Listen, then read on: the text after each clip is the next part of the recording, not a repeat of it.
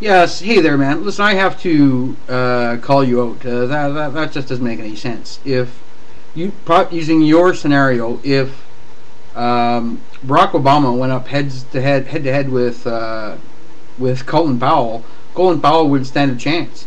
Colin Powell lied to the UN to get the Americans into war. Colin Powell's a joke. Colin Powell sold out, man. You know, he's just a soldier. You know what soldiers do? They do what they're told. so that that is silly.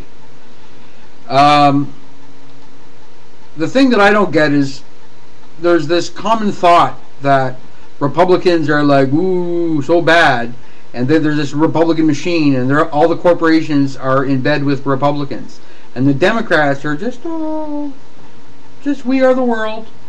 They're just holding hands and doing seances and, uh, you know, listen to Peter, Paul, and Mary. Uh, they're they have they are nothing. They're they're just you know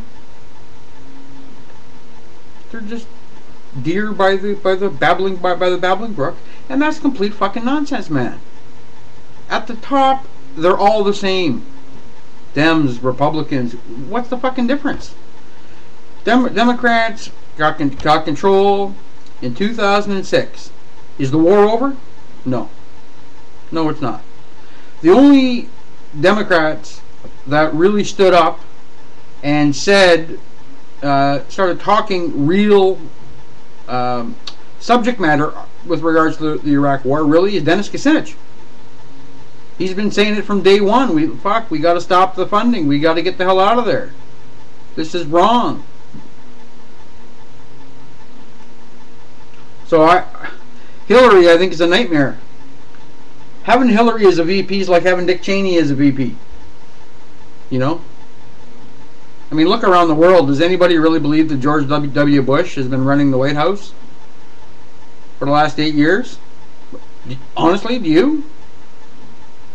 I mean, uh, George Bush didn't know his ass from a hole in the ground. I don't know if he still can find it with a fucking map. You know, so no, I think uh, the trick is on the on the Republican side is to um, July 12th when uh, millions storm Washington and uh, the Minnesota Convention is overrun with Ron Paul supporters, that uh, the Constitution might uh, get some play. Because Hillary Clinton just more of the same. Hillary Clinton, Clinton is uh, John McCain in a friggin' dress. That's it. So. I think uh, best bet uh, VPs for Barack. I, I, do agree he should have someone with some experience, but uh, if you want to counter, I guess the military angle, I'd go with uh, either one of either uh, Bob Bowman or um, Jim Webb. Um, Wesley Clark.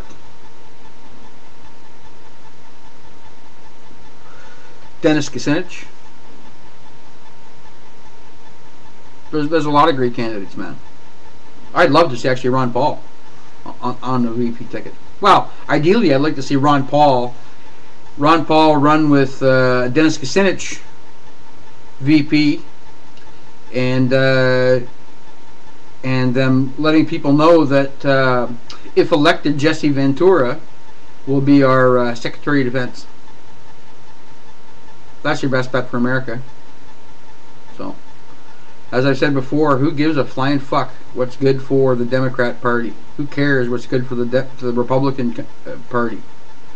What's best for the 300 million American people? Or, more to the point, what's what's more important to the 270 million American people that are not millionaires? That's what you have to decide. Cheers.